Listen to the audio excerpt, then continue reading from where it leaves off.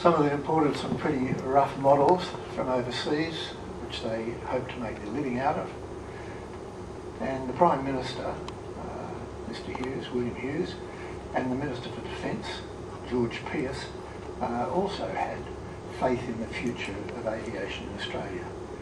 Hughes had knowledge of how to get from London to Paris in an aircraft, and Pearce uh, was very impressed with what he'd uh, researched. Many of the schemes were untested for these pilots that came back to Australia. They came back in dribs and drabs, and they took off in different directions, wanted to keep them together, but they had no plan. Uh, the plan was a blank sheet of paper. And so this is where the aero clubs got going. Early to mid 1919, they were a means of getting people together and maintaining their, their flying skills. So the first two were in New South Wales and Victoria in mid-1919 and in August uh, Queensland and South Australia got their aero clubs going. But in the meantime a bloke called Norman Brearley had in Western Australia with his two aircraft and he was so far away from the the main centre of aviation that he could virtually do what he liked. So there was no even though the Australian Aero Club of Western Australia, or Western Australian section, uh, was on a piece of paper. Uh, it never developed because Norman had his show going over here. These people that bought aircraft back were looking at uh, carrying passengers, freight, mail, photography, advertising, joyrides, and teaching people to fly. Remember at this stage, there was no department running the show and uh, people could uh, fly an aeroplane if they liked. There were no licences. So along came Norman Brearley to Western Australia. He was uh, born in Victoria, but he'd spent uh, a fair bit of his life over here from the age of uh, early age. Um, Distinguished Order, Military Cross, Air Force Cross, um, mentioned in dispatches, and he quoted that he was late at the ARF. And um, he was a pretty notable character. He brought two aircraft with him Europe, from England. He assembled them at Belmont Park in mid-July 1919. And I'd ask you to look at the dates as we go through here, uh, because he moved fairly quickly. He had a plan in mind, and he rocketed along on the 1st of August he had uh, an ad in the Sunday Times, a complimentary photograph of his aircraft. Alongside of him was Peter Hanson, his mechanic, uh, and uh, a very astute mechanic too. So between the two of them, they put on a pretty good show. On the 2nd of August, the day after uh, the photo in the newspaper, he carried the Mayor of Perth on a flight. The uh, flight didn't go as well as expected. He positioned his aircraft at the WACA ground. It wasn't called the WACA ground in those days, but you know what I mean. It was the Cricket Association ground. Um, he took the Lord Mayor, uh, Mr Lathlain, for a fly, and when he returned, his aircraft snagged the wires that went around the aerodrome. There was overhead lighting and wires, and he came to a rather nasty halt, broke the strut at the front of the aircraft and the propeller. But not to be outdone, he quickly uh, jumped in a car, sped over to Belmont, picked up his second aircraft and flew back and put on the greatest aerobatic display that Perthites had ever seen. Prior to that, the aircraft that had got in the air flew straight and level in a gingerly fashion and what he was doing was spins, Immelmann turns, rolls off the top Immelmann turns, you name it, he was doing it. He was a very qualified aviator. He had spent time at a special school of training or flying in England. And so on the 12th of August, and these aren't uh, all the ads and all the position places he went to, but on the 12th of August he was operating out of the Belmont Racecourse. Um, charging $5 a flight for a circuit. Pretty big money in those days because five dollars, five pounds, I'm sorry, five pounds was more than the average weekly earning for the, the average person. So um, he was raking a fair bit of money. On 16th of August, he was operating out of show, uh, Claremont Showgrounds. He often operated out of there. He went back many times to these places, um, taking people for, people for rides. He started to move out in the country. We've heard about him moving down to Quindanning, but he also uh, advertised that he was going to be at the York show, and uh, that was on the 1st of October. September, this one's a bit out of place, but uh, he took George Moore uh, for a fly. Any of you aviators ever remember windmills on farms which had uh, W.D. Moore on the, the vane? In fact, the, the saying used to be, if the vane of the windmill doesn't have W.D. Moore on it, don't believe in the wind direction because those other windmills don't tell the truth. anyway, George was uh, the son of William Moore and he went for a fly uh, with Norman on that day, as did many others. Uh, Loton Park, Perth Oval its next name, and I think it's members' equity now, while it still survives. Off the Esplanade, it was called the Esplanade East in those days. It's now known as Langley Park. Norman went as far as Kalgoorlie. Uh, he was operating out of the Kalgoorlie uh, racecourse. He went as far south as Albany. He even shipped his aircraft up to Onslow and uh, shipped it back again. It wasn't a smooth operation, but at least he got up there and started to work on the people of the outback. This is uh, a reminder of the lucky envelopes which he used to throw out uh, with cash prizes from the Swan Brewery. And very early in the piece, in the first weeks of him operating in Perth, he had a contract with Charles Moore and Company. Remember Charles Moore that went through from Hay Street to Murray Street? Um, and so once again, he was throwing out uh, lucky uh, pamphlets and lucky uh, envelopes with cash prizes from both of those organisations and possibly others. It wasn't beyond him to overfly the city. Uh, Elder's house I think that's, if you went up the road there, uh, you might end up at the entrance to the Embassy Ballroom and the Capitol Theatre. Um, and you might note the people looking out the window trying to see this aeroplane. They wouldn't have seen many in those days.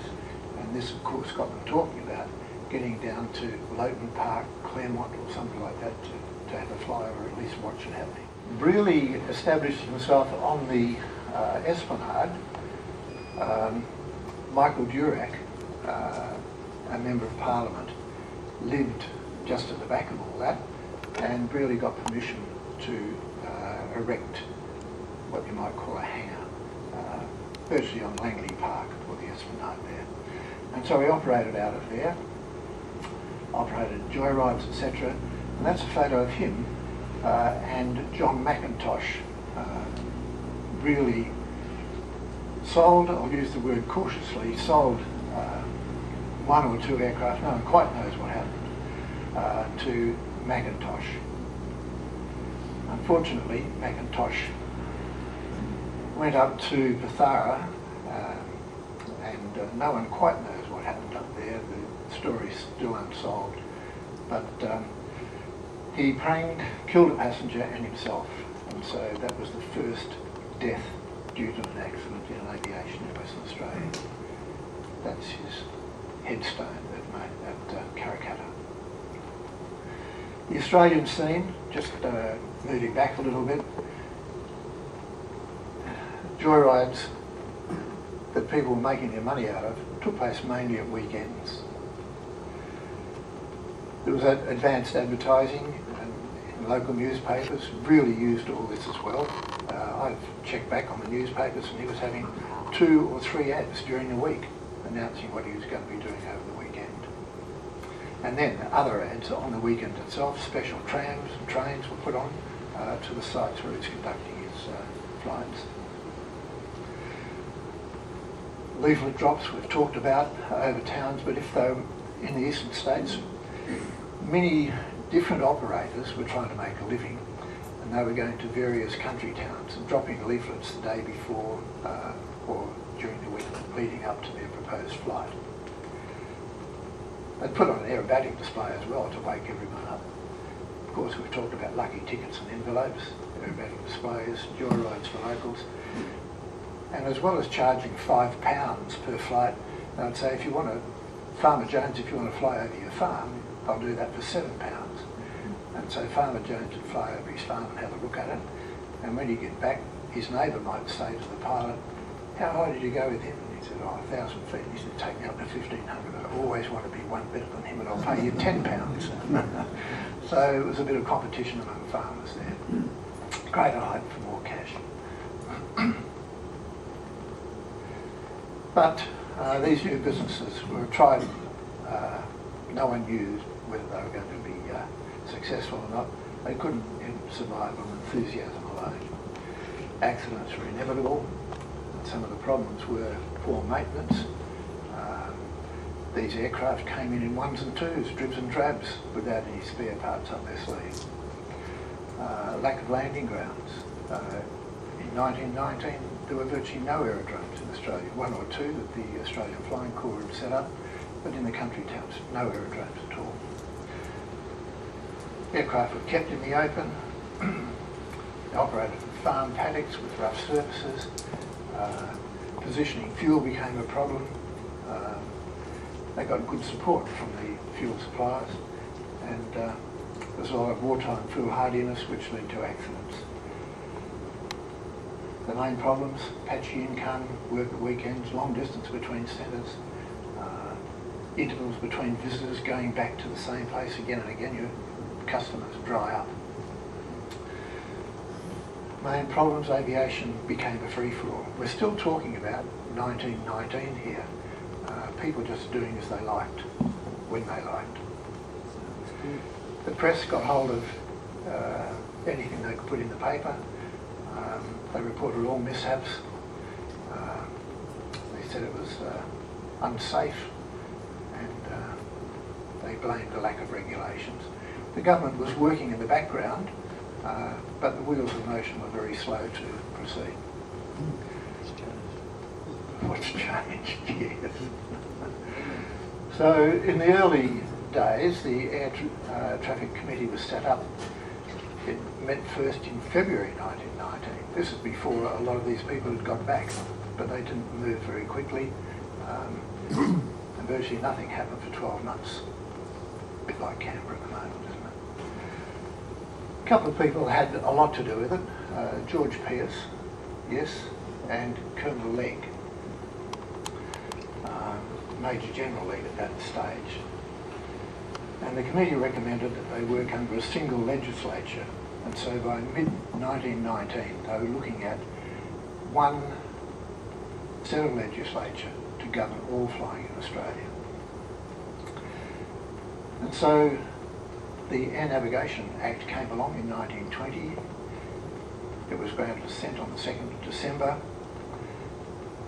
But the state premiers had to agree on signing over their state rights to the federal government to make it work. Of course, that presented problems. What's new? Eh?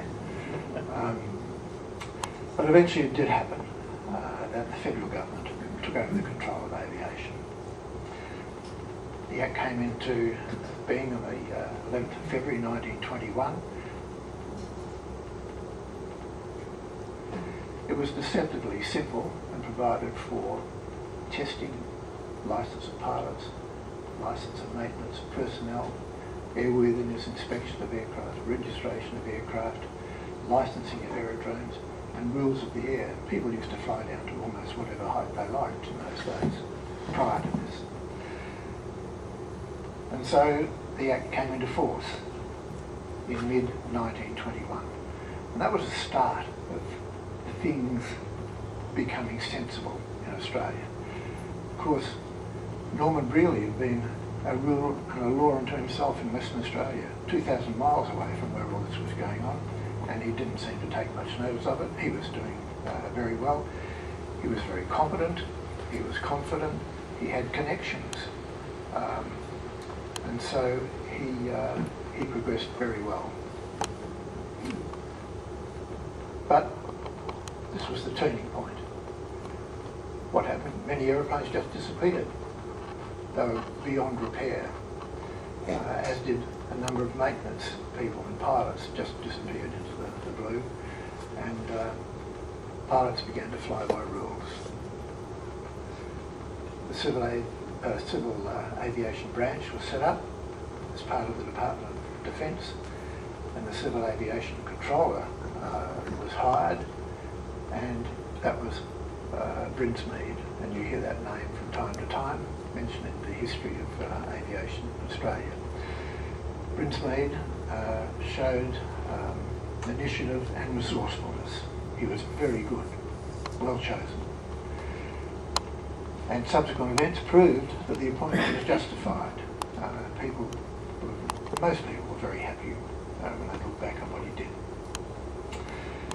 His assistant was a man, a West Australian, Edgar Johnston, and that name comes up in the history books as well. And so the stage was set for people to operate efficiently, and those companies were West Australian Airways, uh, Qantas, and uh, in New South Wales there was Aerial Services of Australia, operated by a bloke called uh, Larkin. And uh, there were many others, fly-by-nighters and others trying to make a living, uh, too many to mention here. So they were the two people that really controlled uh, aviation in Australia, and uh, we owe it to them for setting up a pretty good show.